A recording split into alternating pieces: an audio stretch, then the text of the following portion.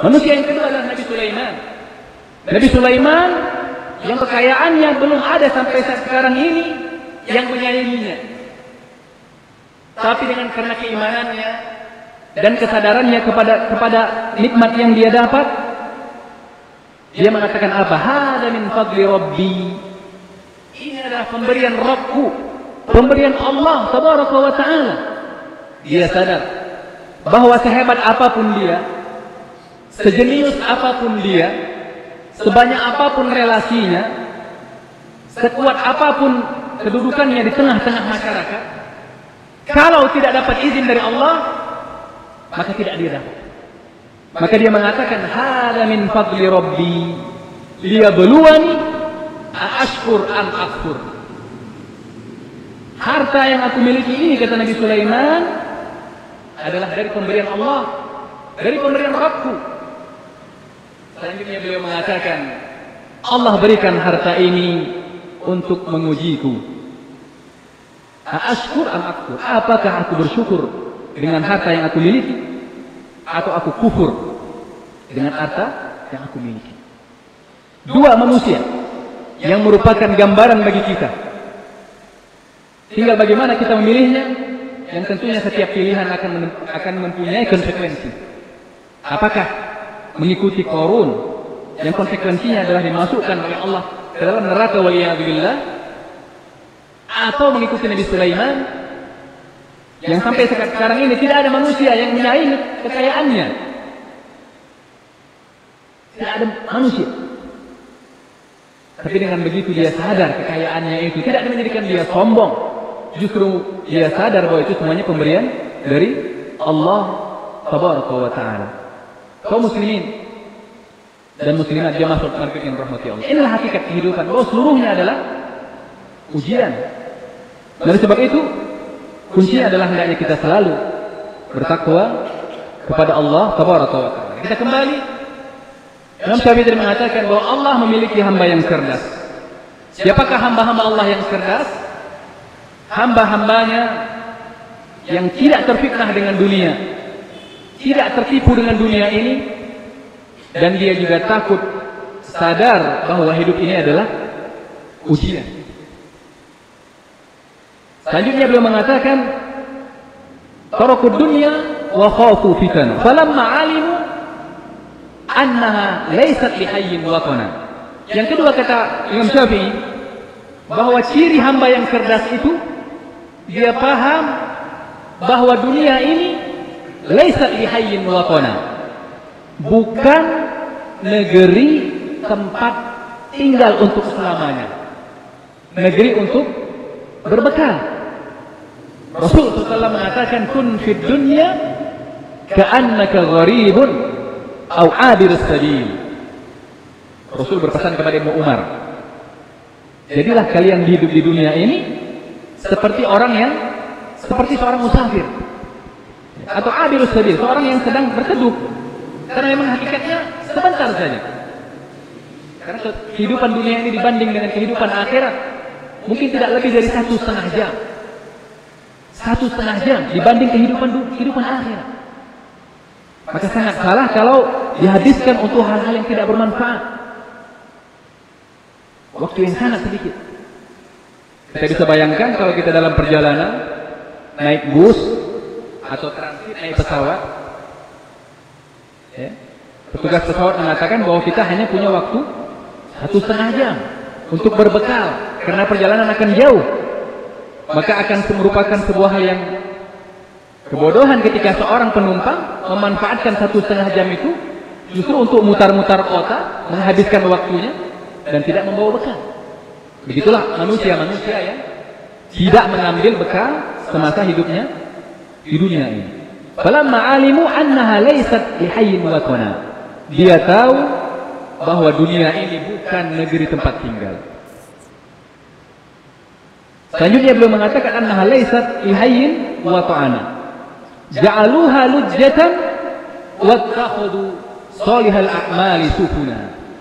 Maka setelah dia tahu bahwa dunia ini negeri ujian, dunia ini bukan negeri tempat tinggal selamanya, maka dia menganggap dunia ini seperti lujjah. seperti ombak ya, di lautan. Bagaimana kita mengarungi lautan supaya selamat? Wattakhadhu salihal a'mali sufuna. Karena dia menganggap dunia ini adalah seperti lautan yang dipenuhi dengan ombak, maka dia pun menjadikan amalan-amalan solihnya seperti kapal. Artinya dia jadikan penyelamatnya atau tempat dia mengarungi dunia ini kapalnya adalah amalan-amalan soleh.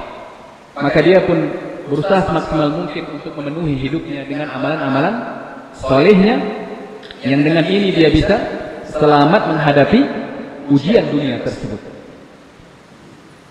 Kaum muslimin dan muslimat yang rahmati Allah, inilah beberapa pesan Imam Syafi'i dan pesan Rasulullah SAW dan juga pesan Allah Taala bagaimana kita hidup di dunia ini yang tentunya adalah dengan senantiasa berbekal dengan ketakwaan kepada Allah Subhanahu wa taala.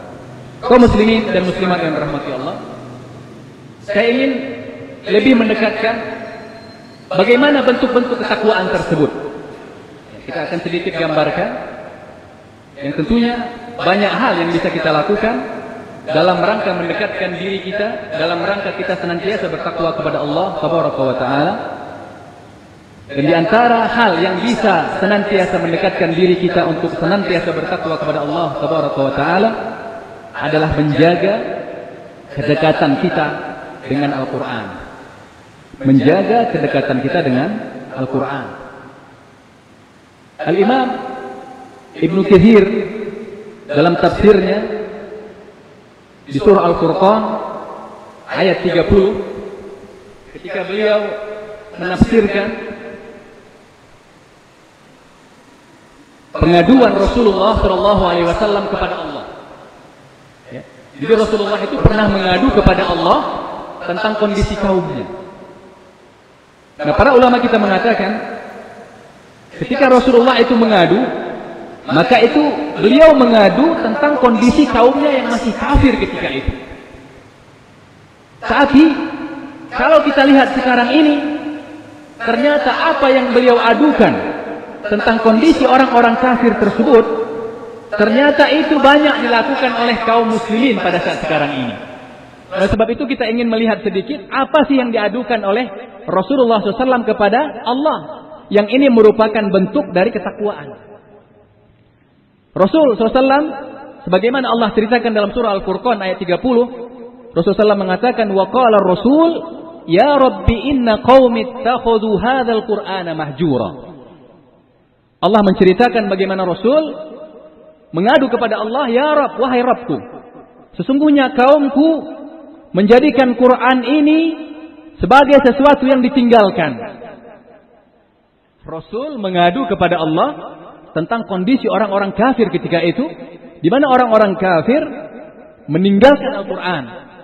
Karena memang mereka ketika itu, ya, kalau mereka, mereka punya tahu ya di mana jadwal Rasulullah SAW. Mungkin kita cerita sedikit tentang Sirah Nabawiyah bahwa ketika Rasulullah sudah mulai dakwah terang-terangan, maka orang kafir Quraisy ketika itu sudah mulai ribut ini. Kenapa?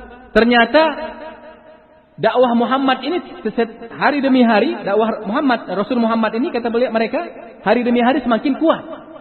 Semakin banyak digemari. Maka mereka pun mengintai jadwal. Kalau kita sekarang punya jadwal tablik akbar, Rasulullah juga punya dulu ya, punya jadwal tablik akbar beliau. Beliau kumpulkan kaum muslimin, dakwah sampaikan Al-Qur'an. Maka orang-orang kafir Quraisy ketika itu punya tahu jadwal kapan Rasulullah itu punya jadwal tablik akbar, jadwal pengajian. Maka apa yang mereka lakukan? Itu disebutkan dalam sirah Nabawiyah. Nanti bisa dibaca di sirah Rahikul Maktum punya ada bukunya pernah saya lihat di sini. Uh, Rahman Mubarak Puri Beliau menyebutkan apa yang dilakukan orang Quraisy ya yang berkaitan dengan apa yang diadukan oleh Rasulullah kepada Allah. Orang Quraisy kalau misalnya Rasulullah ingin punya jadwal dakwah di di Bukit Sofa umpamanya. Yang mereka lakukan yang pertama, mereka mendahului Rasulullah. Mendahului Rasulullah dan membuat acara. Membacakan syair, membuat cerita-cerita supaya apa? Supaya dakwah Rasulullah itu gagal. Yang kedua, kalau mereka sudah kedaluan sama Rasulullah, maka setelah Rasulullah dakwah